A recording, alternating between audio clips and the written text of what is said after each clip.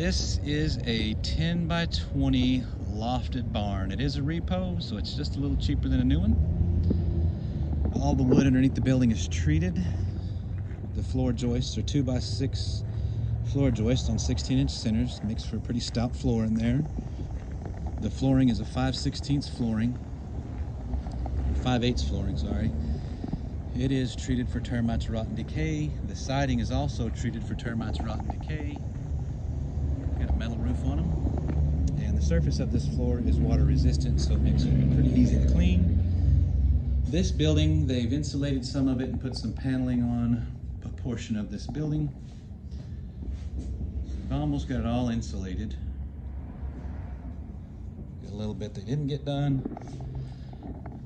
This is uh, an eight foot loft here. It's got two by six joists for support, so you can put a lot of weight up there if you needed to. It is eight foot deep, so it's uh, pretty long in there.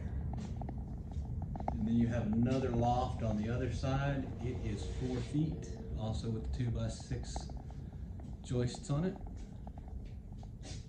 And then underneath the loft, this bottom of this two by six is about six foot seven inches.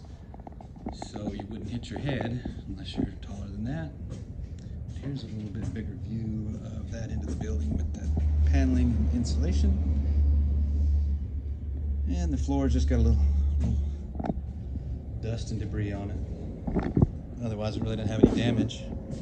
And the insulation in this one is not uh, factored into the pricing. Basically, you get that for free if it's uh, something you need.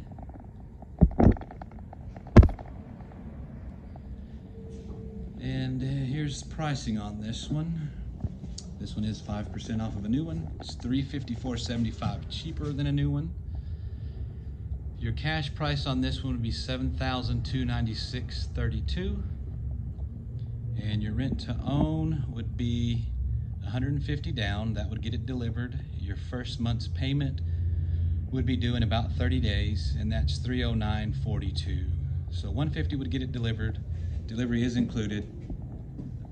They don't take fences down or cut trees or move debris for free, but they will they will do that if you need it done. They will charge you for it.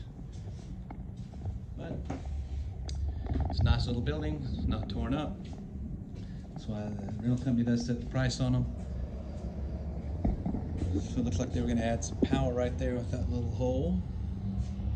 Nice little building. Pretty good price. Come by and see it. I-40 in Grand here in Amarillo, Texas.